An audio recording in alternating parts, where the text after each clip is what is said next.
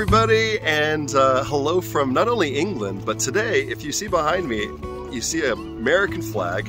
What more appropriate thing on the 4th of July than to send you a video from the Plymouth Steps, where in September 1620, uh, the Puritans left from these very steps that I'm sitting on uh, to a new world in a new place. They weren't probably the best navigators, went way off track and ended up going to what is now Plymouth. Um, in the United States, uh, named after this place where they left from. But they didn't start their journey here, did they? They started in Amsterdam, uh, that's where the Puritans left from originally. Uh, one of their boats were sinking.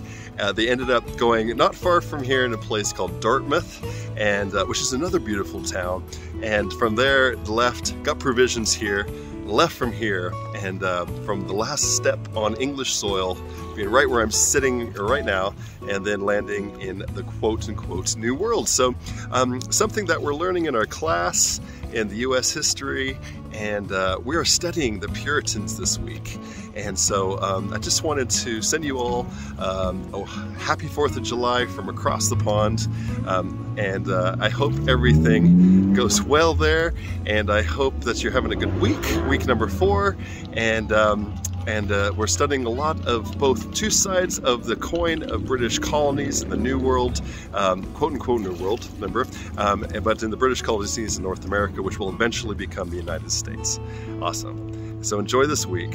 Have a fantastic time and uh, keep me posted as you go through this journey. Have a fantastic time learning this, hopefully something new uh, in a different direction and something um, uh, that's very important for the foundation of our country and uh, which is a, a, lot of different diversity and, and hardships that these people went through, but overcoming adversity.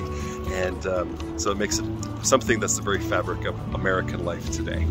And enjoy 4th of July weekend and talk to you all, or 4th of July, um, and this whole week ahead for week number four. And a nice dog right here. Oh, I love dogs.